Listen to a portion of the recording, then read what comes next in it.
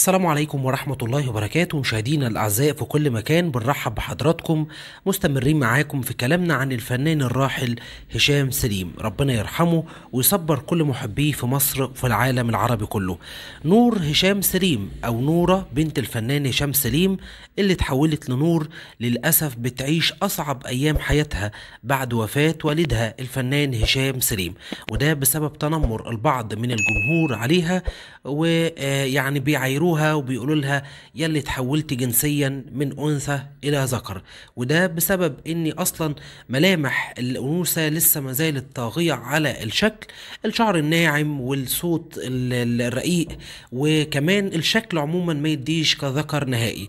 ولكن هو مش بإيده اللي حصل ده هو كان عنده نسبة عالية في هرمونات الذكورة وده اللي خلاه تحول من نورة لنور وده بدعم والده الفنان الراحل هشام سليم عليه رحمة الله. فأظن إن دي حرية شخصية لنور أو لنورة ومحدش له دخله فيها. الحاجة التانية اللي إحنا عاوزين نتكلم مع حضراتكم فيها هو يعني القذارة اللي في الوسط الفني. للأسف ثلاث فنانات بعد ما حضروا الجنازة بالليل والتاني يوم على طول كانوا بيرقصوا في حفلات خاصة وسهرات خاصة بيرقصوا مع مجموعة من الشباب. من ضمنهم إلهام شاهين والفنانة شيرين عبد الوهاب وكمان الفنانة أو الراقصة الاستعراضية فيفي عبده. الثلاث فنانات دول ما احترموش الجنازة ولا احترموا العزاء ولا احترموا حتى إن في زميل ليهم زميل محترم آه، شخص ودود كان بيود كل الناس وكان بيحب كل الناس. مش ما احترموش إن هو اتوفى وانتقل لرحمة ربنا ما كملوش 24 ساعة على الجنازة. وطلعوا يرقصوا في حفلات خاصة زي ما حضراتكم شايفين كده.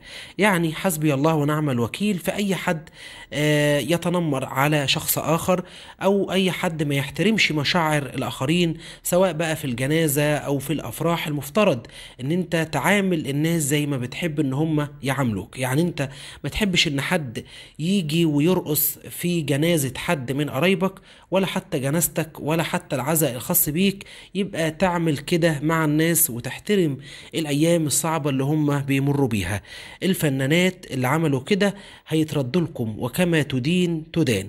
أتمنى من حضراتكم إن أنتوا تدعوا بالرحمة للفنان الراحل هشام سليم وإن ربنا يصبر أهله وكل محبيه وإن ربنا يعين نور هشام سليم على اللي هو فيه.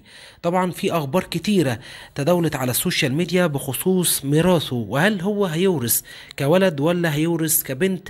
في لسه بعض الأقاويل في الموضوع ده ولكن الشائع إن نور هشام سليم مازال اسمه في البطاقة نورة هشام سليم. فبالتأكيد هتاخد في الميراث على إنها على إنها أنثى آه، زيها زي إخواتها البنات الاتنين. دي كانت كل التفاصيل اللي معانا النهارده. بشكرك وما تنساش تدعمنا باللايك والشير واشتركوا في القناة وفعلوا زر الجرس علشان دايما يوصل لكم كل جديد.